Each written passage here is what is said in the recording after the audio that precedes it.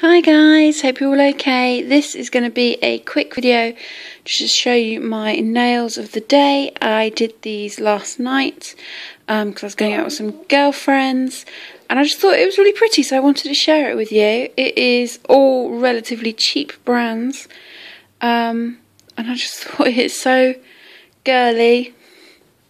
Um, originally I was just going to put the glitter on the accent nail, but I liked it so much I put it on everyone. Um, basically, I used the Max Factor Nail Infinity as a base and top coat, and then the main colour is actually a Tesco's colour, um, a Tesco's nail polish, sorry, in the shade is called Tranquil, and it's focusing nicely for me. And then the glitter um, is by LA Colours Colour Craze, and if it's gonna, you see, and that's called Cocktail. It's not focusing properly.